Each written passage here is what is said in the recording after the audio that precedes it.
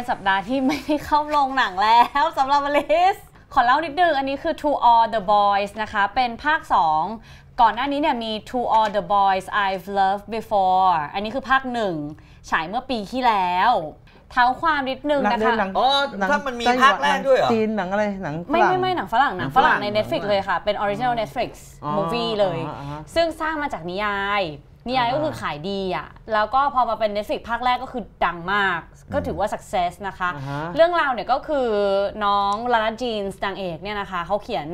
เอ่อเวลาเขาแบบตกหลุมรักใครอะเขาก็เขียนจดหมายไว้อ่าฮะเขาก็เคยแบบตกหลุมรักอยู่ 5 คนตั้งแต่แบบสมัยประถมจนปัจจุบันอะไรเงี้ยอ่าอ่าเอ่อคนล่าสุดก็คือเป็นแฟนพี่สาวอะนางก็เก็บจดหมายไว้ 5 ฉบับเขียนแล้วเก็บไว้ไม่ให้ส่งไปไหน เขียนเนี่ยโอ้ยเขียนเป็นบรรยายแบบจดหมายรักกันนึกออกว่าอ่าแต่เก็บไว้เก็บไว้เก็บไว้ไม่กล้าบอกใคร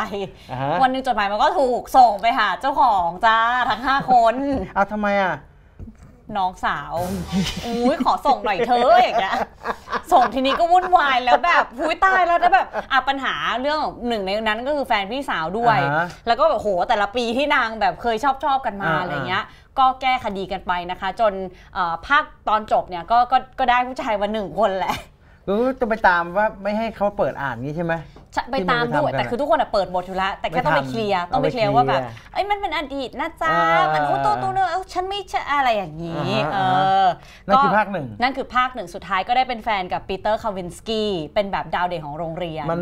สนุกแบบเบอร์ไหนอะแบบเฮ้ยภาคหตนึ่งเราก็ชอบตลกมันแล้วแล้วมันติกหรือยังไงคือมันเป็นมันเป็นแบบเด็กใสๆอะอ่าเด็กเรียนเด็กเนิร์ดอ่าฮะอะไรอย่างเงี้ยอ่าฮะแบบ ไม่รู้จะจัดการความรักของตัวเองยังไงอ่าอ่าอะไรอย่างเงี้ยแล้วแบบอุ๊ยก็มีหนุ่มฮอตเนอะนักกีฬาโรงเรียนอ่าฮะมาอะไรอย่างเงี้ยเออเขาจะเคลียร์ยังไง แล้วก็เออรักที่รักไม่ได้เนาะอืมเอออมตกลงเรารักใครรักเขาหรือเปล่าอะไรพระเอกเงี้ยนี่เป็นอายุเท่าไหร่นะในเรื่อง เป็นช่วง high school high school ใช่ใสๆเลยรักใสๆก็คือหนังวัยรุ่น ซึ่งนี่จริงๆนี่ว่าแจ้งเกิดตัวพระเอกเลยนะโนอาเนี่ยก่อนที่จะไปเล่นแบบ Netflix อีกหลายเรื่องจนได้มาเล่นอ่าฮะ Charlie Angels ด้วย ก็คือเนี่ย ก็ชอบ จริงๆ ชอบพระเอกเลย คือเรารู้สึกว่าเขาสร้างให้ 2 ตัวเนี้ย charmingมาก ครับ ๆ แล้วก็อีกหลาย ๆ ตัวเลย พอมาภาค 2 ปุ๊บ ตั้งแต่ในในในตัวอย่างอะค่ะ ก็จะเห็นว่าหนึ่งในจดหมายนั้นที่ยังไม่ได้เคลียร์กันในภาคแรกอะกลับมาอีกหนึ่งคน อ๋อเออมีผู้ชายที่ทิ้งไว้มีทิ้ว่าแบบนหนึ่งไม่อยู่ในเมืองแล้วอะไรอย่างเงี้ยอ่าๆกลับมาทีนี้ก็อุ้ยตายละ ตกลงฉันชอบใคร อันนี้เป็นหนังใช่ไหมเป็นหนัง เรื่องอันเดียวอันเดียวจบใช่ เลยอ่า ชั่วโมงกว่าจบอ่าฮะละก็อุ้ยต้องตามต่ออา ทีเนี้ยคือเอาจริงๆนี่แบกความคาดหวังมามาก เพราะว่าชอบภาคหนึ่ง อ่าฮะอ่าฮะ นี่ว่าภาคสองไม่ถึง เอาเหรออมอาจจะเป็นเพราะมันเป็นต่อขยายเปล่าใช่ไหมใช่เพราะภาคหนึ่งไอ้พล็อตเรื่องของการที่จดหมายหจลุดดหมายไปให้ฉเป็นบับเรื่องมันดูที่แบบดีมาโอ้กโหตื่นป็เต้นรื่องที่ดีมากอันเนี้ยคือมันตื่นเต้นน้อยลง แต่ว่าก็โตไปพร้อมกับตัวละครมากครับขึ้น แล้วก็เนี่ยลังเลระหว่างสองคน ซึ่งเอาจริงๆ คือเท่าที่ไปอ่านมาเขาเปลี่ยนผู้กำกับด้วยค่ะ ตอนแรกเป็นผู้หญิง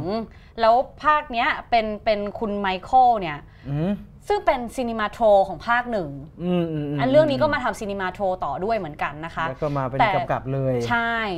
แต่แต่นี่เชื่อว่าเพราะว่าเนี่ยแหละมันเป็นขยายต่อเนื่องอ่าโตไปพร้อมตัวละครต่อ สิ่งหนึ่งที่เขายังรักษาไว้ได้ดีก็คือเสน่ห์ของตัวละครพระเอกกับนางเอกตัวใหม่ที่มาตัวใหม่ที่มาเพิ่มโอ้อีก โหเสน่ห์มาก คือหลงไปเลยจ้ะแม่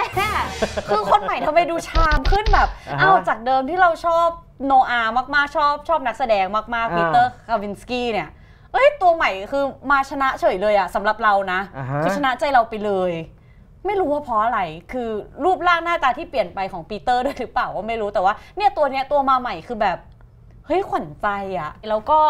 มีแผนจะสร้างภาค 3 ต่อด้วยนะคะ ซึ่งนิยายมันก็ตามนั้นเลย ก็คือ To All the Boys Always and Forever Lara Jeans เราตั้งใจให้ตัวนางเอกดูเป็นธรรมดาธรรมดาหน่อยใช่ไหม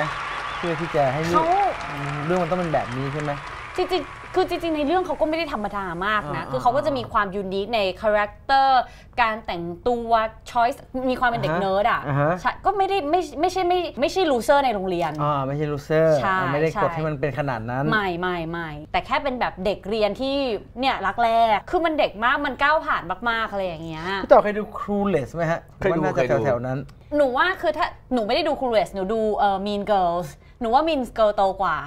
Mean Girl มัน mass กว่า หรอแต่แต่คือเหมือนว่าหนูหนูรู้สึกว่าพวกเขาโตอะ type นางเอกเอเชียที่จะเล่นในฮอลลีวูดมันต้องเป็น type นี้อืมมันหนูว่ามันเป็น cast ที่ตรงกับ character ดีกว่าอ่าอ่าอ่าเออไม่ไม่เกี่ยวกับเรื่องสวยไม่สวยเลยนะ หนูว่ามันตรงกับ character อ่าฮะ ซึ่งตัวเนี้ยหนูว่า charming อ่าอืมคือมันไม่ได้เกี่ยวกับสวยไม่สวยแต่มัน charm อะ อ่าฮะอ่าฮะเพราะมันก็ต้องเอาผู้ชายอยู่หมัดเหมือนกันนะ ตกลงอลิสชอบแนะนำเรื่องนี้ คือถ้าตามมาจากหนึ่งก็ต้องดู 2 เพื่อเดี๋ยวเราจะไป 3 กัน ก็เนี่ยแหละค่ะ ถ้าชอบตั้งแต่ภาคหนึ่งก็ดูภาค 2 อือฮึแต่ว่าถ้าสมมติว่ายังไม่เคยดูแล้วจะมาเริ่มภาค 2 เลยไม่แนะนำควรจะกลับไปดูที่ภาคหนึ่งครับ จะครับผูกพันแล้วก็รักตัวละครนี้ขึ้นนะคะสำหรับ To All the Boys